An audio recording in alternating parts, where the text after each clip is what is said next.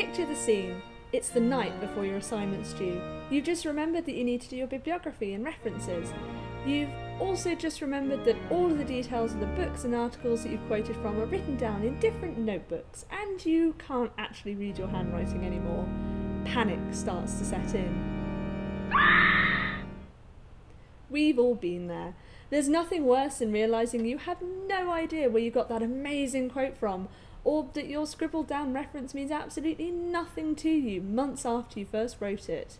Or you might be really good at documenting what you read, and you've got lots and lots of saved PDFs on your laptop, but you've never backed up your data, and you get a virus, which means you lose everything.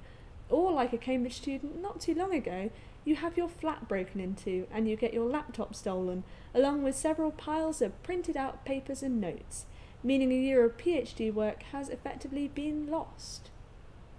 But now I've thoroughly terrified you and made you just that little bit paranoid about your current system, I will present a solution Zotero. Zotero is one of many bibliographic management tools out there. You might have heard of other products such as Mendeley or EndNote, but I quite like Zotero, and I'm going to explain why. Zotero acts primarily as a browser extension, so you download it and it sits in whatever browser you use. It works brilliantly with Firefox, and if you use Chrome or Safari, you can download the standalone version too. Once installed into your browser, you get a little Z appearing in the top right hand of your browser window. By clicking on this, your Zotero library will pop up at the bottom of your screen. You can keep this closed when you're browsing the web, but it's good to know that it's hiding down there, accessible with a click of a button. Why is your library so important?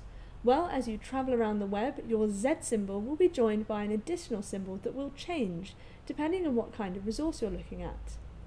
If you're on a news website, the symbol will appear as a rolled up newspaper, or if you're looking at an electronic journal article, the symbol will change to a sheet of paper.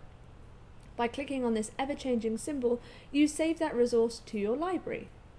Depending on what it is, you might get a snapshot of a web page that you're viewing, or if you're looking at an electronic journal article, you'll often be able to save a PDF of the article to your library. The joy of Zotero is that as well as saving a version of the resource you're looking at, it'll also save as much information about the resource as possible, such as authors, publication dates, and titles. How good this information is depends on what metadata is available. So some web pages can be a bit vague, but many articles and ebooks have all of the information you really need to get a full citation. If anything doesn't quite pull through in the way you expect it to, or if you want to add some notes or tags, all the citation fields are editable. You can also manually add new entries for things you find offline, like book chapters, or even upload scans, PDFs, and other file types like audio and video to your library so you can keep everything together. Zotero gives a generous 300 megabytes of storage for free. Considering that your average electronic journal article, without too many pictures, is only a few hundred kilobytes, that gives you a good amount of storage for a project. For more storage, you can get a storage plan with Zotero for a fairly reasonable price, depending on how much space you want. As Zotero is entirely cloud based, you can use it on multiple devices and also just log into your library via the Zotero website, in case you're not able to use the extension because you're on a public computer, for example. Just remember to sync your library regularly and you're all sorted.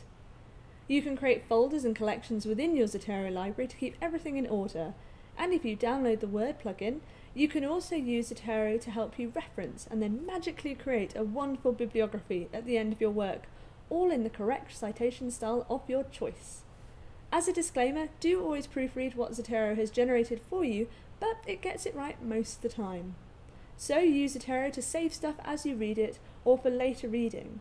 It's great for creating bibliographies and keeps everything in one place so you don't have to try and decipher your notes and will also help you make sure you include everything you read, even that really obscure chapter that you found that one time.